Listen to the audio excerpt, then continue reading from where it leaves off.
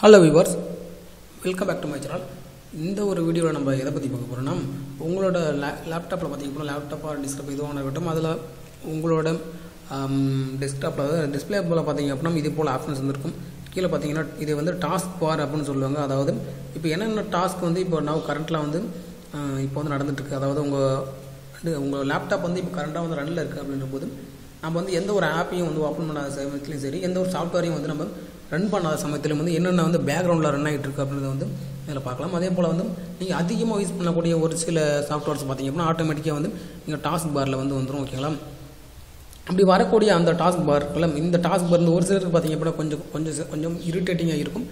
அப்படி இரிட்டேட்டிங்காக இருந்தாலும் கூட இல்லை அப்படி அப்படி இல்லைனாலுமே கூட இதை ஒரு விஷயமா நீங்கள் தெரிஞ்சுக்குவாங்க பட் இருந்தாலும் இதை பற்றி தெரிஞ்சிக்க வேண்டிய ஒரு அவசியம் அப்படின்னு இருக்கு. ஏன்னா நீங்கள் டெய்லியும் வந்து லேப்டாப் யூஸ் பண்ணுறீங்க டெஸ்க்டாப் வந்து யூஸ் பண்ணுறீங்க அப்படி யூஸ் பண்ணுற உங்களுக்கு வந்து இதை பற்றி தெரி தெரிஞ்சுக்கல அப்படின்னா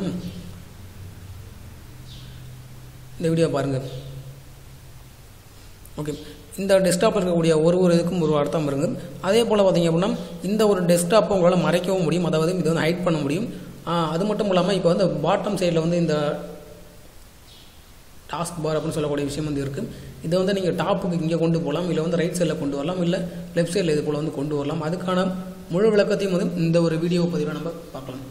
இந்த வீடியோ ஸ்கிப் பண்ணாமல் பாருங்கள் அப்போ தான் சொல்லக்கூடிய விஷயங்கள் வந்து உங்களுக்கு தெளிவாக புரியும். ஓகேங்களா?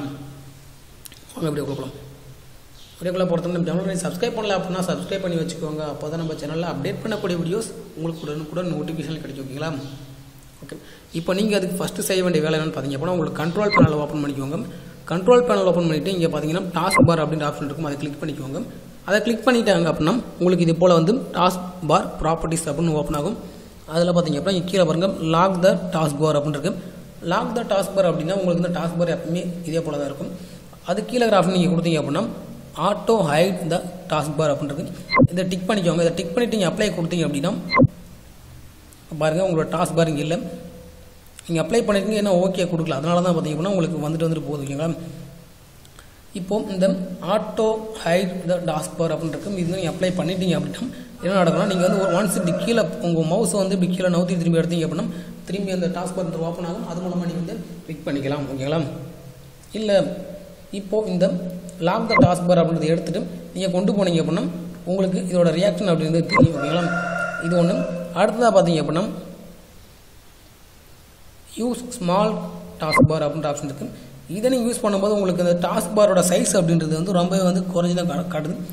பார்த்துக்கோங்க. ஏற்கனவே இருந்த டாஸ்க் பார் சைஸுக்கும் இப்போ இருக்கக்கூடிய டாஸ்க் பாரோட சைஸுக்கும் வந்து உங்களுக்கு நிறைய வித்தியாசம் அப்படின்றது இருக்குது கிளிக் பண்ணிக்கோங்க. கிளிக் பண்ணிவிட்டு அப்ளை பண்ணுங்கள் அப்ளை பண்ணால் தான் உங்களுக்கு அது போல் வந்து ஓப்பன் ஆகி காட்டும். ஓகேங்களா இப்போ பார்த்தீங்களா? எந்த அளவுக்கு வந்து சைஸ் அப்படின்றது ஸ்மாலாக இருக்கும் இதை வந்து நீங்கள் வந்து உங்களோட லேப்டாப்பில் வந்து நீங்கள் மாற்றி பார்த்துக்கலாம். இல்லை எனக்கு தேவையில்லை அப்படின்னா நீங்கள் வந்து இதை கொடுத்துட்டு அப்ளை கொடுத்தீங்க அப்படின்னா மறுபடியும் நார்மலைஸ் ஆயிரும். நார்மலைஸ் ஆகிறது மட்டும் இல்லாமல் இந்த ஒரு டாஸ்க் பாரம் நீங்கள் வந்து உங்களோட சிஸ்டத்தோட பாட்டம் சைடில் கொண்டு போகணும் அப்படின்னு நினச்சிங்க அப்படின்னா எடுத்து விட்டுறேன் எடுத்து விட்டுட்டு அப்ளை கொடுத்தேன் அப்ளை கொடுத்தேன்னா நார்மலாக வந்துருச்சு. ஏன்னா உங்களுக்கு விசிபிளாக தெரியணும் அப்படின்ற காரணத்தினால நான் வந்து அதை எடுத்து விட்றேன் உங்களுக்கு வேணும் அப்படின்னா நீங்கள் கொடுத்துக்கோங்க. அடுத்து இங்கே பார்த்தீங்கன்னா பாட்டம் அப்படின்ற ஆப்ஷன் இருக்குது அதை அதை எடுத்துகிட்டு டாப் அப்படின்னு நான் கிளிக் பண்ணுறேன் கிளிக் பண்ணிவிட்டு அப்ளை கொடுக்குறேன்.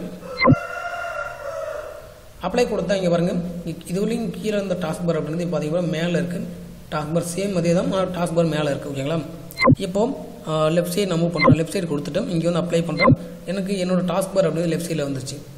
அதே போல் அடுத்தது வந்து ரைட் அப்படின்றத வந்து கிளிக் பண்ணுறேன் கிளிக் பண்ண உடனே என்னோட டாஸ்க் பார் அப்படின்றது என்னோட ரைட் சைடில் என்னோட சிஸ்டத்தோட ரைட் சைடில் வந்துருச்சு ஓகேங்களா இது போல் உங்களுக்கு எது வந்து கஷ்டமாக இருக்கும் அதாவது எது வந்து உங்களுக்கு வந்து யூசர் ஃப்ரெண்ட்லியாக இருக்கும் உங்களுக்கு இந்த மாதிரி விருப்பம் தோணுதோ அதுக்கேற்ற மாதிரி நீங்கள் வந்து இது வந்து கான்ஃபிகரேஷன் பண்ணி வச்சுக்கலாம். அது உங்களோட விருப்பத்தை பொறுத்து ஓகேங்களா ஓகே இவ்வளோ தாங்க விஷயம். அப்ளை கொடுத்து நீங்கள் ஓகே கொடுத்தீங்க அப்படின்னா கான்ஃபிகர் ஆயிரும்.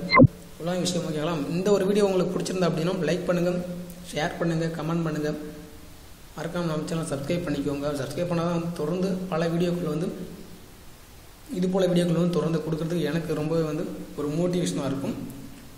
ஓகே தேங்க்ஸ் ஃபார் வாட்சிங் வீடியோ